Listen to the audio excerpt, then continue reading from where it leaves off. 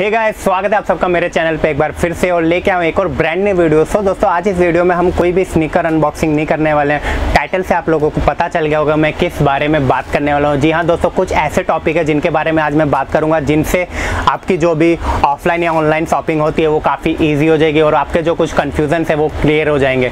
तो गाइज़ शुरू करते हैं। Without time let's begin so so, दोस्तों आप में से कोई भी अगर मेरे चैनल पे पहली बार आ रहा है और उसने चैनल सब्सक्राइब नहीं किया है तो सब्सक्राइब कर दो यार। साथ ही साथ बेल आइकन को दबा देना ताकि आपको मेरी नई वीडियोस की अपडेट आसानी से मिलती रहे। सो so, दोस्तों ये जो चार टॉपिक है एक एक करके मैं आप लोगों के साथ बात करने वाला हूँ। ये जो चार टॉपिक है पर्सनली जो मैं यूज़ करता हूँ अपनी शॉपिंग में ऑफलाइन या ऑनलाइन मैं उसी इसके हिसाब से आप लोगों के साथ ये शेयर करने वाला हूँ। तो दोस्तों मेरी नज़र में सबसे पहला जो टॉपिक है वो है बजट का। बिकॉज़ कभी भी अगर हमें शॉपिंग करनी है ऑनलाइन या ऑफलाइन तो ऑब्वियसली सबसे पहले बात आती है बजट की कि हमें किस रेंज में शूज़ खरीदना है। तो अगर मेरी बात करूँ तो जैसे लाइक अगर मुझे 1500 से 2000 तक की रेंज में खरीदना है तो काफ़ी ऑनलाइन काफ़ी सारी ब्रांड ऐसी है जहाँ पे एच आर एक्स हो गया रोडस्टर हो गया, काफ़ी सारी ब्रांड ऐसी है जहाँ पे इस रेंज में मुझे शूज़ आसानी से मिल जाते हैं। तो ऑब्वियसली मैं उस ब्रांड में ईजिली जाऊँगा।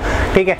अगर आपकी बजट काफ़ी हाई है फाइव प्लस आप जाना चाहते हो तो आप काफ़ी जैसे पॉपुलर ब्रांड है Adidas Nike Puma Skechers like काफ़ी सारी मार्केट में ब्रांड है तो ऑब्वियसली आप उस ब्रांड की तरफ़ इजीली जा सकते हैं। तो मेरे हिसाब से पहला जो ऑप्शन है बजट का वो काफ़ी इंपॉर्टेंट होता है। आपको बजट सेट करना पड़ता है। उस हिसाब से आप किसी भी ब्रांड की तरफ़ जाते हैं। और जो दूसरा ऑप्शन है, उसकी तरफ़ चले तो दूसरा ऑप्शन होता है ब्रांड ठीक है? अगर आप पहले आपने बजट सेट कर लिया, जैसे मैंने बताया आपको पाँच हज़ार छः हज़ार की रेंज आप खरीद सकते हो ऑब्वियसली आप नाइकी की तरफ़ जाओगे। तो सेकंड ऑप्शन इसलिए ब्रांड का है। अब आपको ब्रांड चूज़ करनी है, मुझे कौन सी ब्रांड में जूता लेना चाहिए?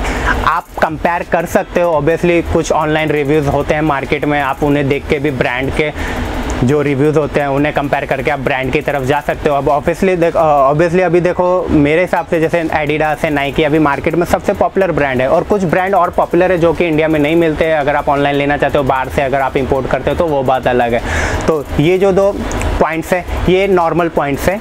तीसरा जो पॉइंट है वो काफ़ी इंपॉर्टेंट है। आप लोगों के लिए अगर ऑनलाइन शॉपिंग आप कर रहे हो या ऑफलाइन शॉपिंग कर रहे हो तो वो जो है कैटेगरी का है। सो so, दोस्तों कैटेगरी एक ऐसी चीज़ है जिससे अगर आप कैटेगरी के हिसाब से शूज़ खरीदते हो तो आपका शूज़ काफ़ी लॉन्ग टर्म के लिए चलता है और परफॉर्मेंस में भी काफ़ी अच्छी हेल्प हो जाती है। जैसे अगर मैं बात करूँ मेरे लिए, अगर मुझे ट्रेनिंग के लिए शूज़ लेना है। अगर मुझे हैवी वर्कआउट, वेट लिफ्टिंग वगैरह करनी है तो जिमिंग में अगर मैं ट्रेनिंग शूज़ यूज़ करूँगा तो ऑब्वियसली मुझे परफॉर्मेंस भी मिलेगा और शूज़ भी काफ़ी लॉन्ग टर्म तक चलता है और शूज़ भी डैमेज नहीं होता।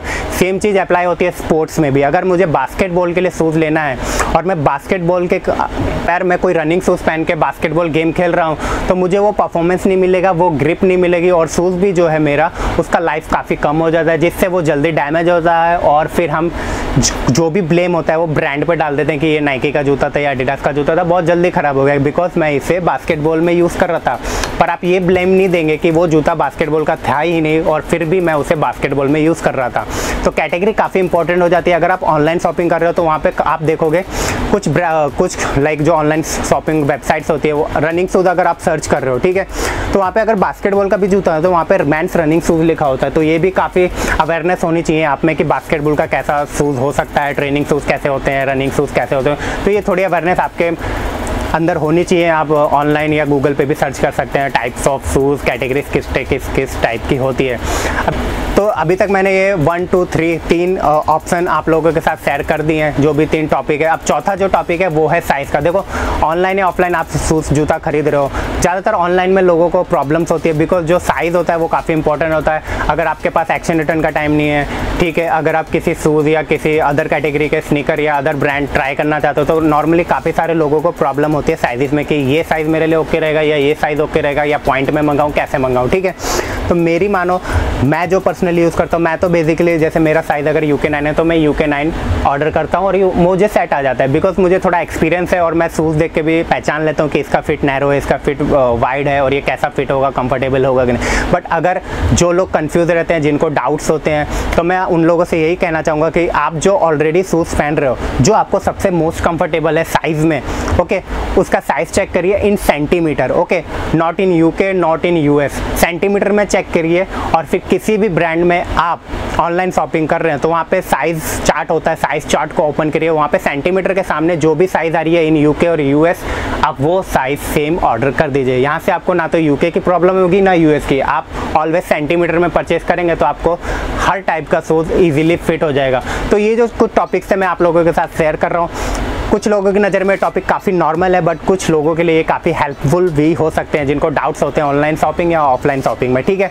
तो दोस्तों, उम्मीद करता हूँ आप लोगों को वीडियो जो अच्छा लगा होगा अच्छा लगे तो लाइक ज़रूर कर देना और चैनल को सब्सक्राइब करना मत भूलिएगा। So guys see next video till then stay sexy